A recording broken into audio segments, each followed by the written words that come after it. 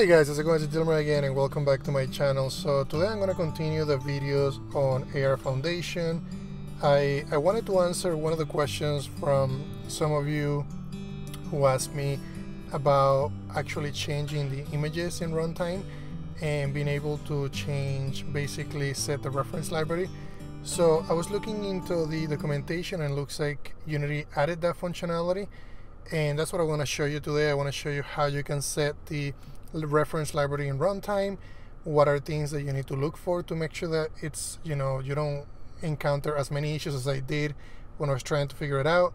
So the scene that I have right now it's basically a scene that I that I worked on previously. This one is called image tracking runtime. I just basically I'm using this as a copy of the previous one that I show you where we show a card and then when the card is detected we play the video so I'm gonna hit play so that you can see, we can go back to, so what I'm gonna show you is how it runs. So let me just go ahead and pull it up. Let's go ahead and go into my Finder. So this is a demo of me running this on the on my device. Back to my channel. So today I'm pretty excited because I'm gonna. And let me go ahead and mute it so you don't see that. But that's basically the card. I um that's my gym membership, and you know as soon as it detects it, it plays the video. I also have a few analytics and those analytics are here on the very top. They're a little hard to see, but let me see if I can get it to, if I can show them better. I think right about there looks better. So this is just some information, some debugging information that also comes back from the image tracking manager. One is going to be the whether the whether the texture is supported, also how many how many textures we currently have in the that we support based on the device that I'm running these on. So this is the iPhone XS. So that says that it supports eight different textures, at least for the image tracking, the AR tracking that I'm using. And then, you know, the, the name of the prefab that I'm using, how many how many number of moving images I set, which is three, if it supports a mutable library.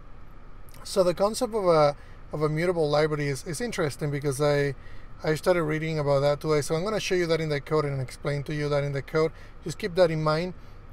And then also whether the the subsystem, which is the iOS subsystem, supports the it requires a physical image dimension, which it does. So these are just different properties that are going to be based on the device that you're running on.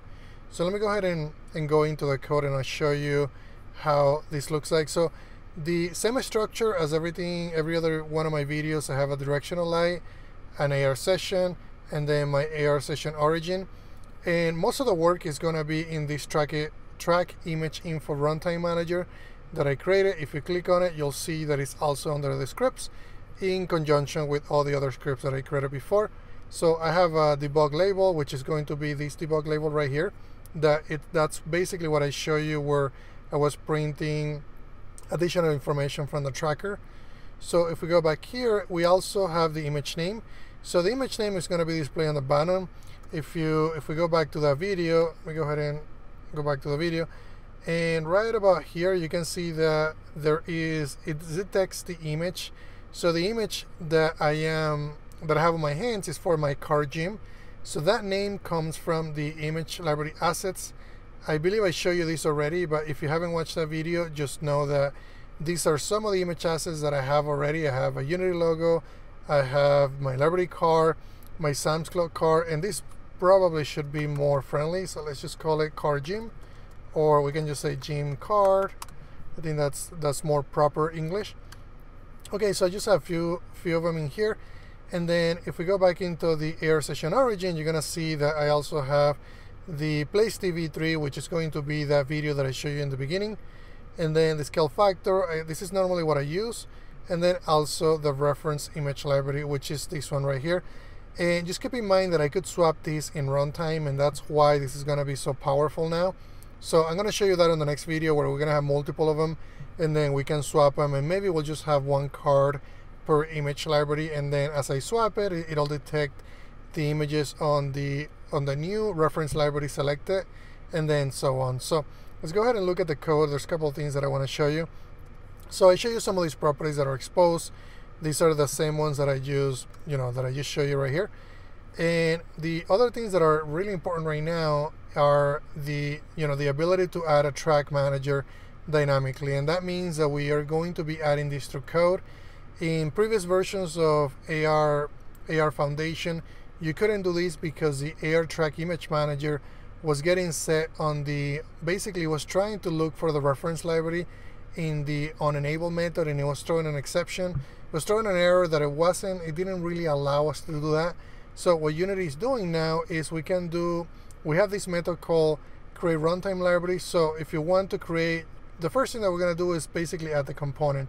So the AR track image manager is going to be the component that we're going to be used to track images in the scene in the real world and then the next thing that you need to do is you gotta say, okay, now that I have that component, I need to add a reference library that is going to contain all the reference images that we're gonna allow the user from detecting. So that's basically what this property is gonna be.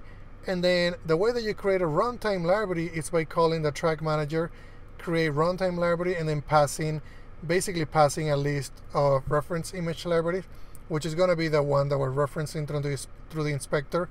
So if we wanted to change this to be, you know, something else, something else, if this one was number two, we can basically add it to another method and then toggle those two. For now, let's just keep it on one so that I can show you that, you know, how it works. And then the next thing that I'm doing here as well, and you could have done this through the inspector, but I did it this way. I'm actually setting this up in the, you know, in the script. If you remember on the previous scene, on other scenes, we were, you know, we, we had to add these and then the other property was a reference library and then the other property was the max number of moving images. In this case I'm just basically adding this through code. And then the other thing that I also was able to add before through the inspector was the prefab on track. I am doing it as well here but I'm not adding it through the inspector that is available by adding the AR track image manager itself. The other thing that is really important if you're going to create a, a AR track image manager dynamically meaning that you do that through code, is if you do this and you don't, by default, this is going to be disabled. The reason why it's going to be disabled is because it's going to look for a reference image library as soon as this executes. So the way that it's going to work is this is going to execute on enable. The start is going to get executed after that. So that's why that's why at this point you need to enable the track manager again because at this point it's going to be disabled because it's required the reference library is required when this object is creating. I hope that makes sense, but just know that you need to set it to true as if you're doing this dynamically right after you set your image library and then basically your max number of moving images and also the tracking prefab. So right after that, what I do is I add a, basically I bind to the track images change event. So anytime a new image gets gets added or updated or deleted, this is going to be the event that gets executed and you can see what I'm doing here. This is exactly what I did before. I am passing an AR track images change event arguments and then I'm changing the name of the image and then I'm also changing the lo lo the local scale of the object that I'm, that I'm getting added. In this case, in this case, it's the video that I'm playing, but I'm basically resizing it and adjusting it so that it looks good. And then I do the same thing when the image gets updated, meaning when I'm moving the car around, this is the event that is going to get called. So why why am I going through this? And and the reason why I'm going through this is because it's really powerful if you can change the reference libraries dynamically. I I also want to be able to to to take a screenshot of an image and then as soon as I take a screenshot drop it into this image library. I'm gonna do that in, in one of the future videos. I in fact I, I've been working on it. I just haven't finished it. But the way that this is gonna work is I'm gonna basically have to call a, a Unity job and you can probably I don't want to go into too much detail here but the way this works is gonna we're gonna be creating images through code. We're gonna be basically telling the Unity job system that we're gonna be adding and schedule an image. That image is gonna get added. It's gonna be it's gonna be a background job. Once the job is completed it's gonna tell us that it's completed. And then the cool thing about this is we're going to be able to not only select screenshots but also select areas of the screen that we want to capture. And then as soon as those get captured they get dropped into the library and then we can therefore start detecting those images in real in real time. So for now i'm going to be doing that in a future video but i hope this was helpful guys. But just know that if you need to add this dynamically this is the way that you do it. And then i'm going to be also allowing adding multiple image Im multiple reference image libraries in future videos and also adding images you know in real time where you can actually take a screenshot or select a section of the screen. So that's everything that I wanted to show you for now, but if you guys have any questions, please let me know. Thank you.